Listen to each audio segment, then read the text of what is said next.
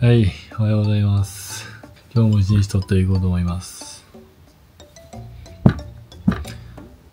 やっぱベッド広いってええな、ほんま。最高。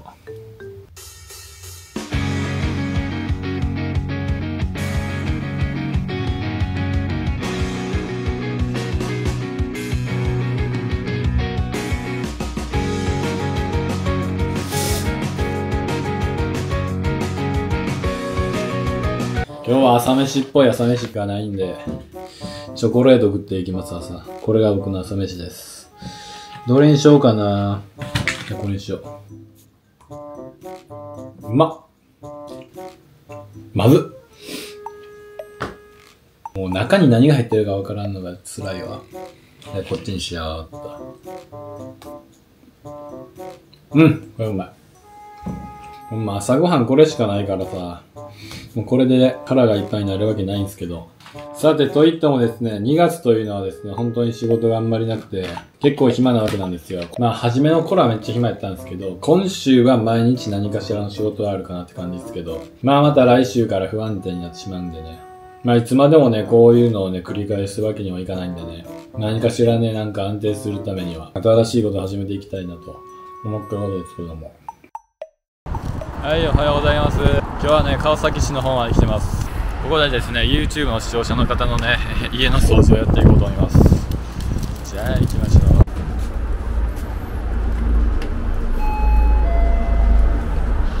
おはようございます。よいしょ。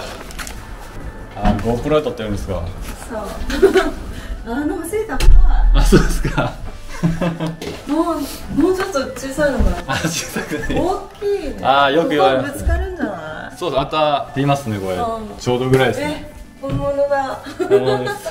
今度ね買ったの。賃貸。いや、賃貸です。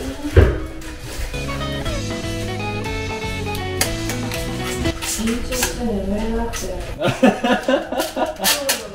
いや。さんが来るのもああるし、あと不安で一人で本当にできるのか。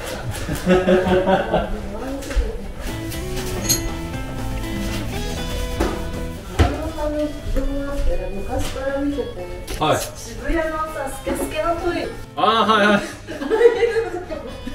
あれ、もうめちゃめちゃ前ですよ。覚えてる。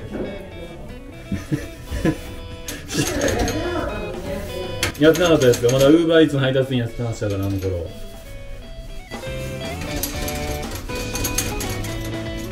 いやーでも最近はなんか YouTube の登録者数もちょっとずつ減ってきてるんですよね。まあ動画も先月は全然出せてなかったんで。1月にみんなリセットしたやつでああ、そうなんですかね。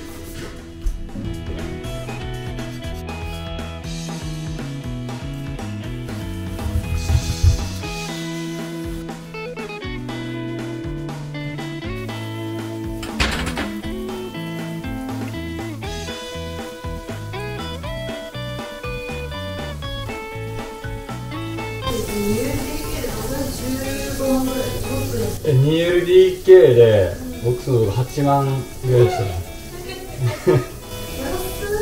そうなんですよ本当に。お昼ってさはい。何かあるお昼ですか？もう何でも。今もう11時でちょっと早い。んだけどはい。モスバーガーとはいはいはい。松屋があねあはいはいはい じゃあモスバーガモスバーガーなんか何がいいあ辛いのダメなんだけど辛いのダメなんですよ。じゃあモスチーズバーガー。ああそれははい。もう喜んでくれます飲み物は飲み物はもう普通の何でもオレンジジュースとかで。はい。だからですねこういうクエン酸でシューッとやっといて。この鏡も、まあ、水垢がね若干残ってるんでまずクエン酸をぶっかけぶっかけ全体になじませるとああいい感じいい感じいい感じこんな感じではい、こんな感じでね、キッチンペーパーで全部パックするわけですよ。クエン酸が垂れずにね、ずっとこの水垢を溶かしてくれるわけですよ。これで何十分かほっといたらもう水垢が取れるということで、あとは放置しましょう。え、全部自分でやってるえ？練習やあ、全部一人です。僕なんかは。途中で誰かに頼むとかああそうですね。割とやりとりが難しかったり。あそうなんですよ。あれだね全く変わんないよねいや同じだよね。決算発表の時は下は履いてないの？そう入ってないですよ。私一回だけ見たことある。なんか立ち上がったら下が。朝起きて上だけ着替えてみたいなえスーツとか着ることあるの？いやーあの時だけですね。基本的にはスーツ着ないですね。ちゃんと仕事してるのね。うん。ちゃんと感情入れない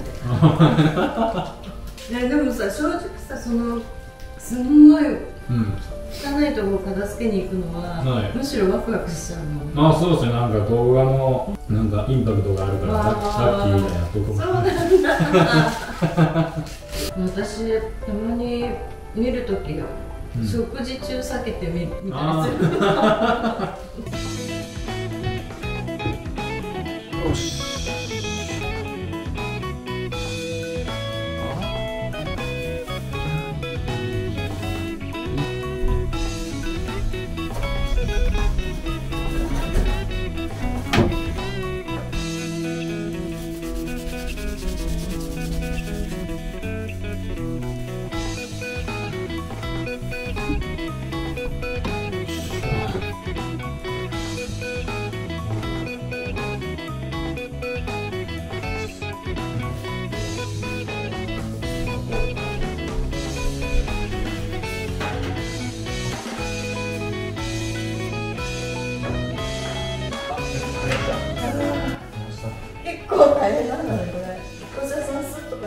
はいありがとうございまはいわかりましした。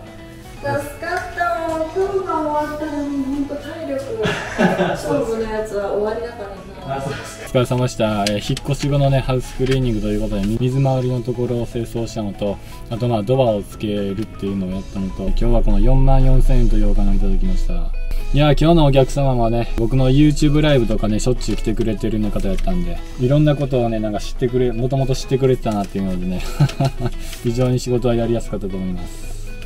じゃあもう帰ろうと思います。お疲れ様でした。今日ですね横浜市の方に来てるわけですけどねインスタの DM からの仕事依頼でですね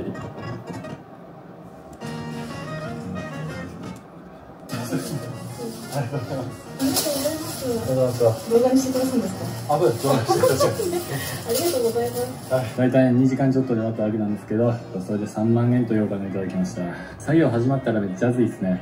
あーじゃあ家帰ろうと思いますお疲れ様でした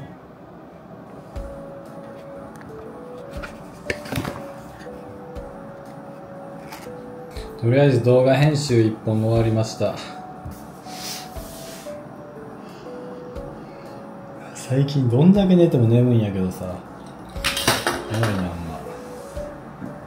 あ昼昼はね昼寝します。おやすみ。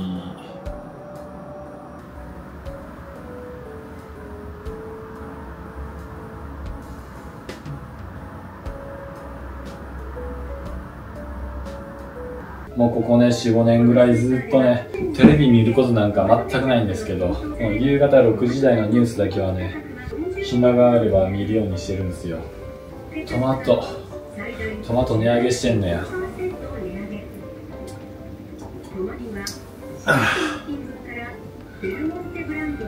いしょ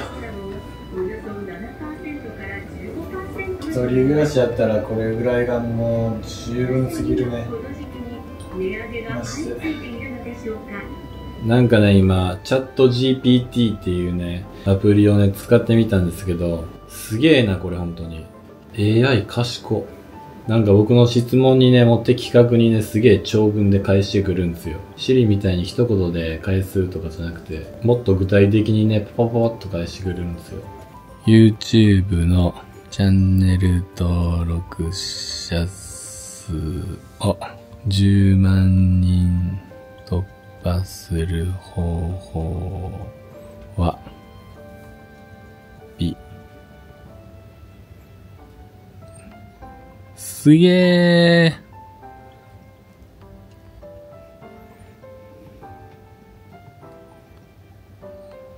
すげえ。めちゃめちゃ書いてくれるやん。やば。高品質なコンテンツの提供、魅力的なユニークなコンテンツを制作し、視聴者の関心を引く。視聴者とのコミュニケーション。ああ、やってるやってる。大丈夫大丈夫。SEO 対策。タイトル、説明文、タグなどのメタデータを最適化する。継続的な努力と戦略の調整が必要です。はあ、俺言っとこう。ありがとう。どういたしまして。愛してます。あなたの愛を感じています。どんなことでも聞いてくださいね。受け流すね。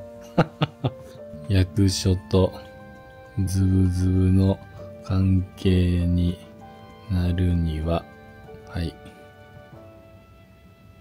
役所と良好な関係を築くために 言い方通ったな。役所の担当者と定期的に、定期的にコミュニケーションを取ることが大切です。問題や要点があれば、周辺の地域社会への貢献。すげえ的確なこと言ってくれんな。こんな長文で帰ってくると思わなかったんやけど。うん、AI さん賢いですね、本当に。なんか困ったら、今度からチャット GTP に聞こう。はい。毎回同じの作ってたらね、作り方も慣れてくるな、ほんまに。これ、なんちゃらペーストってやつ、これ入れたらうまいっていう噂を聞いたんで、このまま入れてみます。よっしゃさあ、料理酒。こんだけ。もうちょっと入れよう。みりん。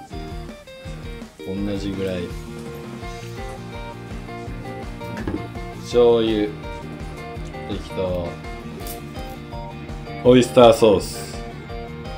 適当。砂糖。適当。これを混ぜる。あ、もうだ。いやー、この組み合わせがね、これまた野菜炒め相当。うまくなるんですよ。困った困った。今まで気づかんかったっていうのがね、もう本当。に後悔ですよ。はい。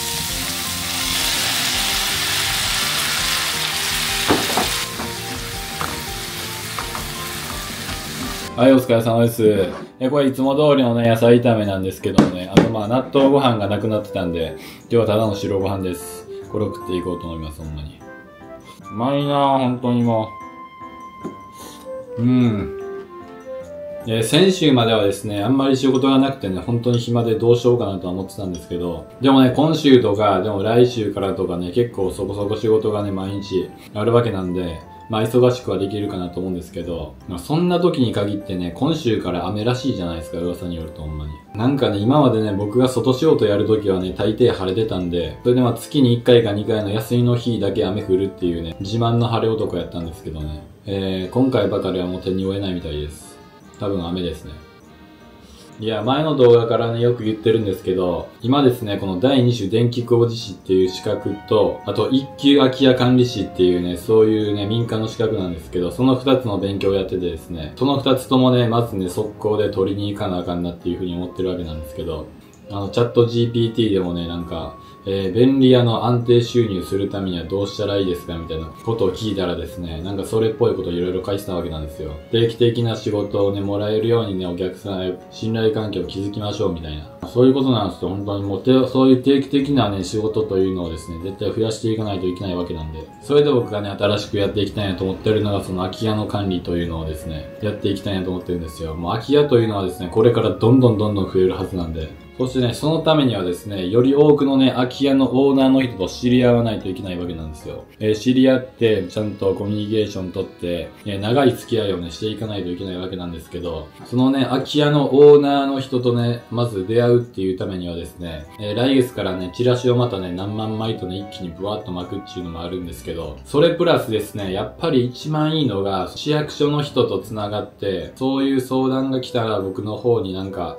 振ってくれるみたいな、そういう関係になるのがね、一番理想的かなと思うわけなんですよ。ただまあね、普通に考えてね、なんか市役所に行って、仕事ください、仕事くださいって言っただけやったら、まあ完全になんかあしらわれるというか、ほんの相手にしてくれないと思うわけなんですよ。まず最初はね、別の角度からね、その市役所の役員の人と仲良くなるというか、まずは一定のなんか顔見知り程度のね、なんかすれ違ったらおおみたいな感じになるようなね、それぐらいの関係をね、まず築かなあかんなと思うわけなんですけど。っていうのをね、最近ずっと考えてるんですけどね、なんかその市役所の人となんか仲良くなるというかね、なんか距離を縮めるというかね、そういうことをするためにはどうしたらいいかなっていうのをめっちゃ考えてるんですけどね、何かいいアイディアがあったらなんかコメントで教えていただければ非常に嬉しいです。というわけで今回の動画は以上です。ここまでご視聴ありがとうございました。チャンネル登録、グッドボタンやっててください。それではお疲れ様でした。